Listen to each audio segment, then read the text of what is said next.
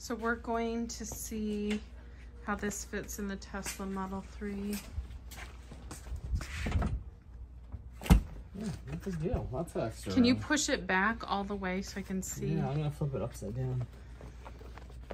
I just want to see how far, how much more room we have.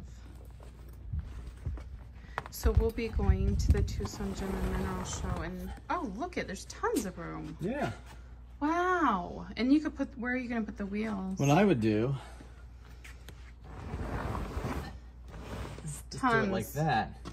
Okay. So then. the This is great. So anybody that has the Tesla Model 3 and you have this jogging stroller, now you know how it fits. This is great. We got lots of room See, for some beautiful gems and minerals. see, just put them like that.